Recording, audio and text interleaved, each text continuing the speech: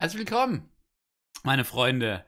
Ähm, ja, Streamzeitenübersicht 1 nach dem 666er Spendenstream.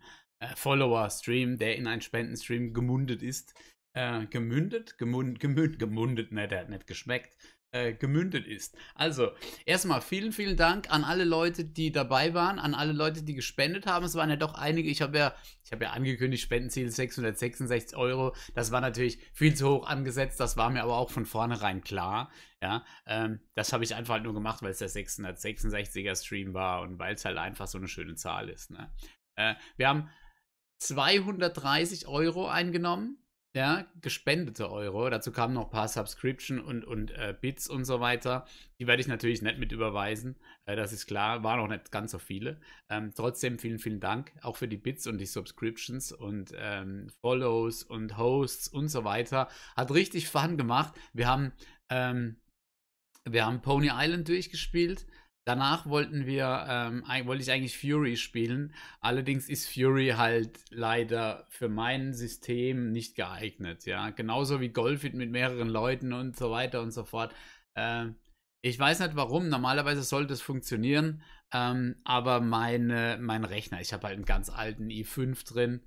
Äh, ich glaube, das ist ein i5 4600, also vierte Generation.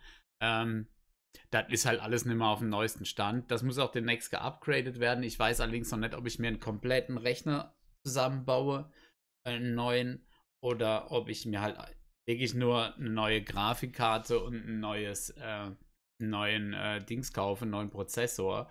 Ähm, ich kann an einem Rechner eigentlich alles selbst machen. Ich habe schon alles selbst gemacht, außer einen neuen Prozessor einbauen, ja. Ich habe keine Ahnung, wie das geht. Ich weiß, man muss das da abmachen und steckst das drauf, dann schmierst du die Paste oben drauf, machst den Deckel drauf, machst den Lüfter drauf und gut ist. Ich habe allerdings ein bisschen Bammel. Ich würde mir das gern machen lassen. Äh, ich muss mich da mal umhören.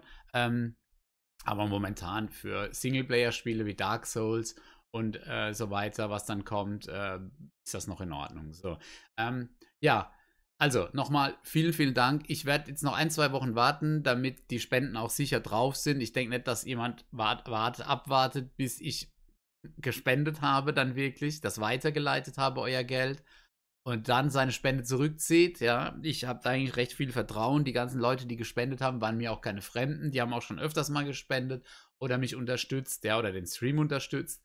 Und dementsprechend bin ich recht zuversichtlich, dass da nichts mehr weggebucht wird von meinem PayPal-Account. Ähm, in ein, zwei Wochen werde ich dann ein kleines Video machen, wo ich das äh, euch zeige. Wahrscheinlich nur im Screenshot. Ich werde das nicht live machen. Äh, ich werde einen Screenshot machen, werde dann meine Daten ausgrauen oder ausschwärzen. Und ähm, ja, und dann geht's weiter, ne? So machen wir das, damit auch sicher ist. Ähm, Nochmal Glückwunsch an alle Gewinner. Wir haben, ich habe zwölf äh, Steam Keys verlost. Es hat meistens dieselben getroffen. Ja, also ich glaube, Bambu ist ganz gut weggekommen, Osek ist ganz gut weggekommen. Ein paar Leute haben ein bisschen mehr Pech gehabt. So ist das halt bei einem Gewinnspiel.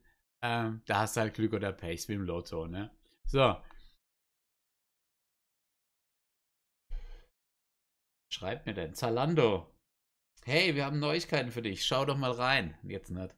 Ähm, ja, streamtechnisch sieht es folgendermaßen aus. Das hier stimmt nicht ganz, was hier steht. Ich habe noch was erfahren, aber das macht eigentlich nichts, ne? Und zwar Montag, Dienstag, also heute ist, äh, erstmal, sorry noch, dass das Video erst heute kommt. Ich habe das gestern komplett verbummelt, ja? Also ich habe gestern Abend um 11 Uhr habe ich dran gedacht, oh scheiße, du musst ja noch ein äh, Dings-Video machen. Aber war es zu spät, da musste ich ins Bett. Ja, dank meinen Kids und meinem Hund habe ich trotzdem erst heute Nacht um 3 Uhr oder irgendwann gepennt. So, ähm, Montag, Dienstag Isaac, ganz normal. Die Streak steht bei, ihr habt es ja gesehen äh, auf YouTube, ich habe die Riesenstreak verloren. Das kann ich ja jetzt hier, das ist jetzt kein Spoiler mehr. Ne? Wir machen gerade eine kleinere Streak. Ähm, ja, bei was sie steht, sage ich euch jetzt nicht, aber sie ist recht niedrig, aber wir spielen da gemütlich weiter. Äh, Dienstag auch ebenfalls äh, Isaac AB Eden Streaks. Ähm, Mittwoch und Donnerstag spielen wir Dark Souls. Vielleicht kriegen wir es am Mittwoch schon fertig. Ich glaube es allerdings nicht, obwohl der zweite, der, wir sind ja im letzten da äh, DLC, also Download-Content. Ähm, den ersten Boss haben wir schon längere Zeit down. Den zweiten hatte ich bis auf einen Hit eigentlich das letzte Mal noch down. Aber man hat ganz geschafft. Ähm, ja, den machen wir jetzt am Anfang, am Mittwoch am Anfang gleich fertig irgendwie. Und dann geht's auf die Suche nach dem letzten Boss. Und wenn der auch nicht ganz so schwer ist wie der zweite jetzt, äh, dann könnten wir am Mittwoch schon fertig werden. Ich gehe allerdings mal nicht von aus, deswegen habe ich am Donnerstag das drin gelassen. Für alle, die sich auf Dark Souls 3 direkt danach freuen, muss ich leider enttäuschen. Ich werde eine Souls-Pause einlegen, allerdings nur kurz. Auf YouTube wird das nicht groß merklich sein, vielleicht ein paar Tage, bis dann Souls 3 kommt. Ähm, ich habe im Spiel, im Stream ja ähm, neben Fury, was nicht funktioniert hat und Golfit, was ein bisschen ruckelig war, aber trotzdem riesig Spaß gemacht hat mit den Leuten im, im, im Teamspeak, wollte ich schon sagen, auf meinem Discord-Server. ähm, könnte ich eigentlich mal, ich glaube, ich, ich versuche es dran zu denken, den unten drunter mal zu verlinken, den Discord-Server. Dann können auch die Leute von YouTube mal auf den Discord-Server kommen und kriegen da immer die neuesten und schnellsten Infos, ja. Und können sich mit den anderen Gobinski 666 Jüngern, unterhalten.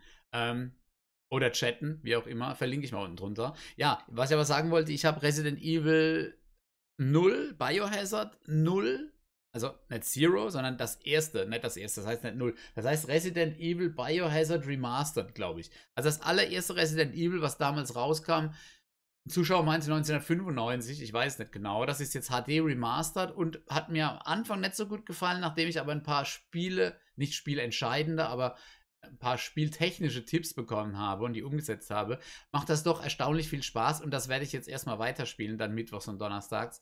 Ich denke, das dauert nicht so lange wie jetzt ein Dark Souls. Ja, ähm, das wird ein recht für ein Horrorspiel wahrscheinlich doch recht lang. Das sind die Resident Evil Teile, so wie ich es gesehen habe, über recht lang. Aber äh, es ist machbar, ja. Es ist natürlich Blind Run. Äh, richtig gruselig ist es bisher nicht. Aber es macht mir riesig Fun. Und das werde ich jetzt erstmal so zwischen reinschieben und danach gibt es dann Dark Souls 3, wenn ich das durch habe. Das Resident Evil wird allerdings nicht auf YouTube kommen. Ja? Wie ich schon angekündigt habe, solche Dinge nehme ich nicht für YouTube auf. Das mache ich nicht mehr. Ich mache die wichtigen Spiele, die mir richtig Spaß machen. Ich meine, mache mein Isaacs-Zeugs und das war's. So, jetzt die kleine Änderung. Am Freitag steht hier noch spontan drin. Am Freitag habe ich keine Zeit. Ähm, muss ich dann auf Samstag verschieben oder sogar auf Sonntag den Stream. Also Freitag definitiv kein Stream, am Samstag eventuell und am Sonntag recht sicher. So machen wir das. Was sagt denn der Uploadplan? Ja, der Uploadplan sagt ähm, Isaac Montag, Mittwoch und Freitag sind drei Folgen, um den zweiten Save-Slot voll zu machen. Für am Sonntag äh, habe ich noch keine Folge aufgenommen. Ich habe heute allerdings vielleicht noch ein bisschen Zeit. Vielleicht kann ich noch ein bisschen aufnehmen, bevor heute Abend, montagsabends der Stream, der Isaac-Stream losgeht. Dark Souls läuft natürlich durch und die Eden Streaks laufen auch weiter. Ja, das war's schon von mir. Ähm, 7 Minuten noch was, das passt unter 10 Minuten. Ach, noch eine Kleinigkeit äh, am Rande. YouTube verbietet mir irgendwie ab Mitte Februar ähm, meine Videos zu monetarisieren. Ich bin zwar in einem Netzwerk, ich habe die jetzt allerdings noch nicht angeschrieben, ob meine Videos weiterhin monetarisierungsfähig sind oder ob die da für mich einen Antrag stellen keine Ahnung, ganz ehrlich, ich kann das ja offen sagen, ich verdiene 4 Euro oder so an den Werbeeinnahmen momentan äh, pro Monat, was mir da mein, mein äh, Broadband-Netzwerk ähm, ähm, überweist dann jeden Monat. Ja, die zwacken sich auch noch ein Action ab und dann kriege ich dafür ähm, den Rest und dafür kann ich mich dann an das Netzwerk wenden und die können mir ein bisschen helfen, gerade wenn es um Monetarisierung geht und so weiter. Oder, äh, aber das hat sich ja anscheinend Mitte Februar eh erledigt, da YouTube seine Richtlinien geändert hat. Und Leute, die, ich kann es ja auch groß sagen, ich habe im Monat ca. 5.000 bis 6.000 Aufrufe. Das ist ca. das 5- bis 6-fache von dem, was YouTube verlangt zu monetarisieren. Allerdings brauche ich 1000 Abonnenten. Ja, und ich habe im Moment, ich glaube, 382, 383, so irgendwas. Äh, also meine Klickzahlen sind für meine Abonnentenzahlen recht gut. Auch wenn es nicht die, die Minecraft-Liga ist, aber es ist dafür, dass ich Isaac-Contact mache, ist das für mich recht gut. Es gibt recht wenig deutsche Isaac-YouTuber. Äh, natürlich der Holly, ja. Aber das ist so der einzig richtig große. Das, der Rest ist, sind halt Amis, ja, oder, oder englischsprachige YouTuber, nenne ich es mal. Ich weiß nicht, aus welchen Ländern die kommen. Aber im deutschsprachigen Bereich gibt es eigentlich nicht so viele Isaac. Und ich hoffe, dass da noch ein paar mehr dann ein äh, bisschen zu mir rüberschwappen. Ich will ja dem Holly um keinen Fall irgendwie die Zuschauer wegnehmen oder so. Das äh, ist auch nicht meine Intention. Ich muss damit kein Geld verdienen. Ich finde es trotzdem schade, dass kleine YouTuber nicht ein bisschen Geld machen können. Ich verstehe es allerdings auch. Ähm, die Werbepartner von YouTube gehen, sind rückgängig durch die ganzen Sachen, die jetzt in letzter Zeit so aufgekommen sind. Ja, keiner will mehr Auf der einen Seite will keiner der YouTuber einen AfD-Werbespot vor seinen Videos haben, auf der anderen Seite will keiner der Sponsoren oder der, der Werbetreibenden, die eben die Werbespots YouTube zur Verfügung stellen oder an YouTube verkaufen, ähm, will keiner, ähm, beziehungsweise umgedreht. YouTube kauft ja die Werbespots.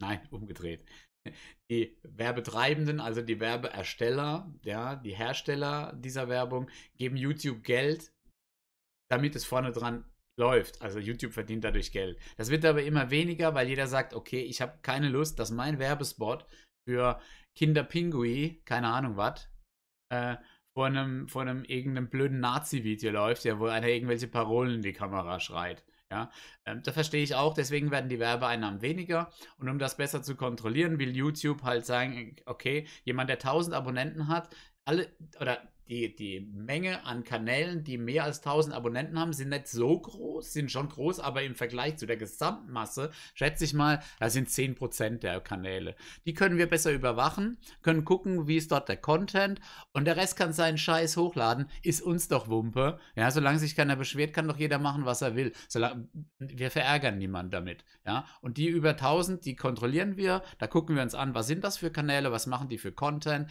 und die dürfen dann auch Werbung schalten. Ganz ehrlich, ist im Endeffekt auch vollkommen in Ordnung. Finde ich jetzt nicht ganz so dramatisch, besonders weil man in meiner Größenordnung unter 1000, also du kommst ja recht leicht daran, ne? An die 1000 Abonnenten, jemand, der das äh, damit Geld verdienen will, der kriegt locker seine 1000 Abonnenten entspannt zusammen. Das könnte ich auch machen, da müsstest du halt bloß Minecraft-Content bringen oder halt irgendwie, äh, keine Ahnung, irgendeinen Prank machen oder was weiß ich. Also so schwierig ist das nicht. Wenn man sich aber treu bleibt, ist es ein bisschen schwieriger. Äh, und wenn man keine Abo für Abo-Dinger annimmt, weil die kommen auch zu Hunderten rein, äh, dann ist es ein bisschen schwieriger, ist aber auch kein Problem. Denn ich, wie gesagt, ich verdiene damit 4 Euro im Monat, da kann ich auch drauf scheißen. Dementsprechend ist es mir auch wurscht, ob mein Netzwerk da irgendwas macht oder nicht. Ich lasse mich überraschen, was da Mitte Februar passiert. Und dann äh, gucken wir einfach mal weiter. Ne? Gut, das war es von meiner Seite. Das Einzige, was jetzt kommt, was ich schlimm finde, ich kann auch im, in dem Abspann ja, keine anderen Videos und so mehr verlinken. Und das finde ich Blödsinn, weil was hat, was bringt YouTube das, dass ich nicht auf andere Videos von meinem eigenen Kanal aufmerksam machen kann? Und ich kann auch nicht am Ende des Videos mein Abo-Button machen. Das heißt, ich mache jetzt meinen Abspann. Es kann aber sein, dass da, wenn ihr das Video guckt, gar nichts mehr drin steht. Ne? Dass da zwei leere Kästchen sind und das war's dann. Dann ist es halt so. Alles klar. Vielen Dank für die Aufmerksamkeit. Gehabt euch wohl. Gorbis raus. Tschüss.